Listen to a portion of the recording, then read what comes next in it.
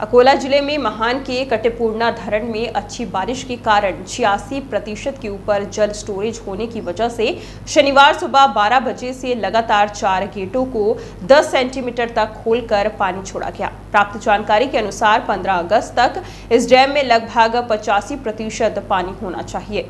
लेकिन अच्छी बारिश होने की वजह से और आगे भी मौसम विभाग द्वारा बारिश की चेतावनी देने के बाद महान डैम प्रबंधक द्वारा निर्णय लेते हुए धरण के चार दरवाजे शनिवार से खोले गए।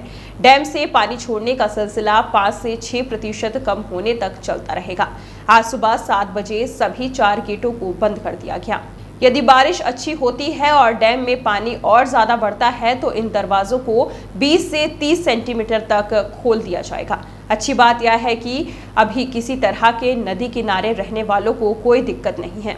आपको बता दें कि इस डैम का पानी पूरे अकोला शहर को और आसपास के बयासी गाँव को, साथ ही एमआईडीसी परिसर और 20 प्रतिशत तक का पानी खेतों की सिंचाई के लिए इस्तेमाल होता है, जिससे अकोला शहर के नागरिकों के लिए इस साल के पानी की समस्या पूरी तरह हल होती नज़र आ रही है।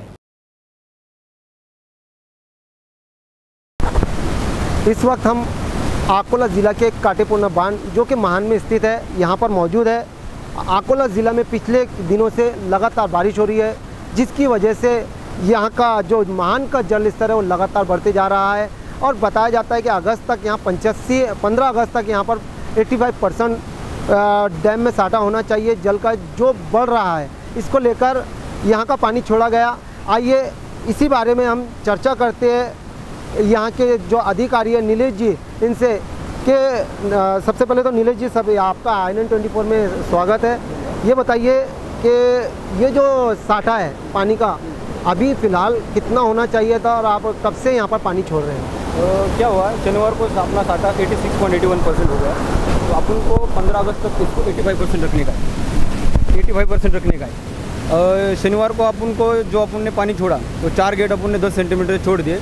तो 32.80 मीटर क्यूब पर सेकंड से अपन ने इस काटीपुरा डैम में डैम से रिवर में पानी छोड़ दिया। फ़िलहाल बारिश के असर कम है।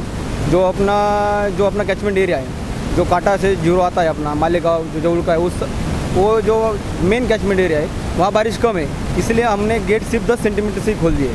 फ़िलहाल कोई बाढ़ का कोई टेंशन नहीं है अपन को लेकिन अपन को 15 अगस्त तक इस डैम का लेवल 85 परसेंट रखने का है। इसलिए हम इसको 82 परसेंट तक लाने वाले अभी। अगर बारिश ज़्यादा हुई तो ये जो डैम की हाइट अपन ने 10 सेंटीमीटर से खोली है इसको हम 20 सेंटीमीटर कर देंगे। लेकिन फ़िलहाल अभी तक तो 10 सेंटीमीटर से चालू रहेंगे।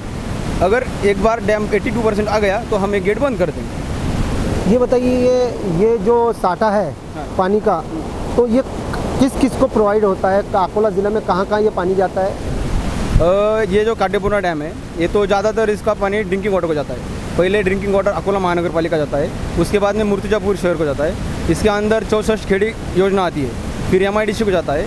इसके बाद में जो पानी 24 परसेंट अपन बाष्पीभवन इसका कैलकुलेट करते हैं, जो अपना 15 अक्टूबर को जो साटा होता है। ये सारा मिलाकर जो घट आउट हो जाइए 86.36 परसेंट अपना जो टोटल स्टोरेज है, उसमें से ये बिगर सिंचन का कट होने के बाद जितना कुछ बचता है, वो अपन काटेपुरना डैम के जो कमांड एरिया में सिंचाई होती है, उसके लिए अपन देते हैं। इस पर आठ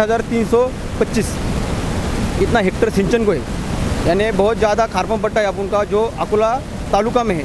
अपना डैम बारशी टाकली में है, लेकिन इसका ज़्यादा सिंचन अकोला तालुका में होता है। इसलिए जितना भी पाना, पानी बच जाएगा, वो अपन नवंबर से उसको मार्च तक उसकी सिंचाई कर देंगे।